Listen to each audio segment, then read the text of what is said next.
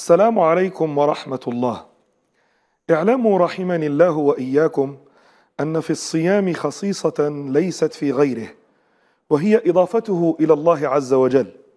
يقول سبحانه: "والصوم لي وأنا أجزي به".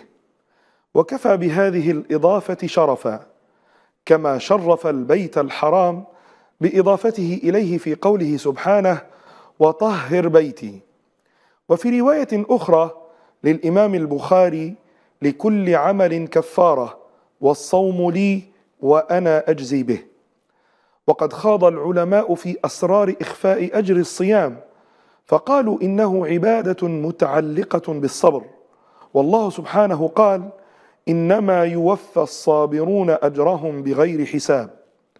وورد في الأثر عن النبي صلى الله عليه وسلم أنه سمى شهر رمضان شهر الصبر. والصوم نصف الصبر والصبر نصف الإيمان كما جاء في أحاديث النبي صلى الله عليه وسلم فكان بذلك الصوم ربع الإيمان. والصبر ثلاثة أنواع صبر على طاعة الله وصبر على محارم الله وصبر على أقدار الله المؤلمة.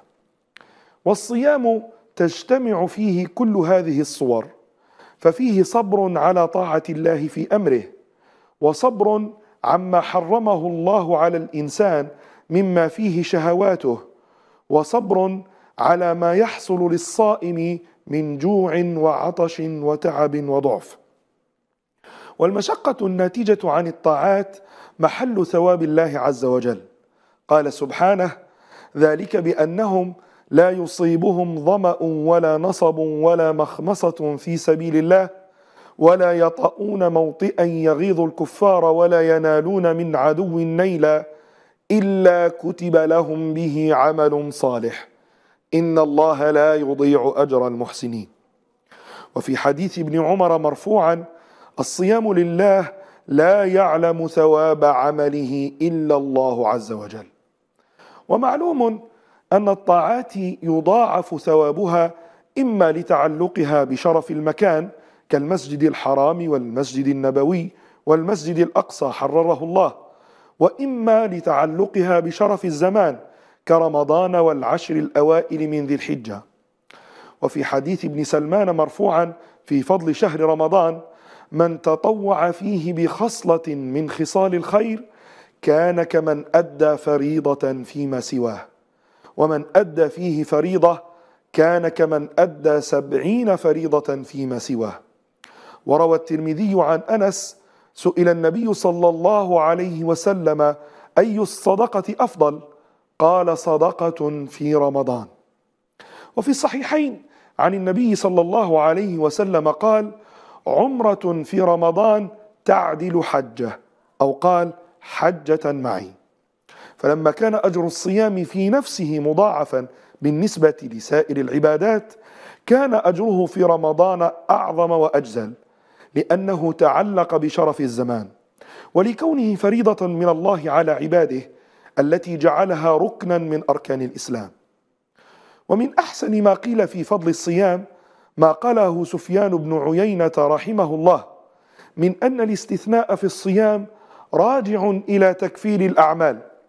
فقال إذا كان يوم القيامة يحاسب الله عبده ويؤدي ما عليه من المظالم من سائر عمله حتى لا يبقى إلا الصوم.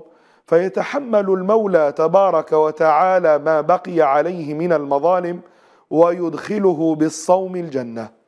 فيكون بذلك أجر الصيام مدخرا لصاحبه عند الله عز وجل.